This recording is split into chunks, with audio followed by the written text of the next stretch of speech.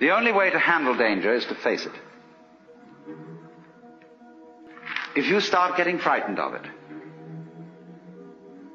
then you make it worse. Because you project onto it all kinds of bogies and threats which don't exist in it at all. Whenever you meet a ghost, don't run away.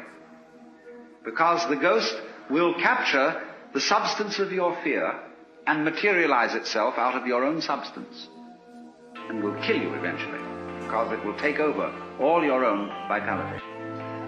So then, whenever confronted with a ghost, walk straight into it and it will disappear. We've got to survive. You must survive.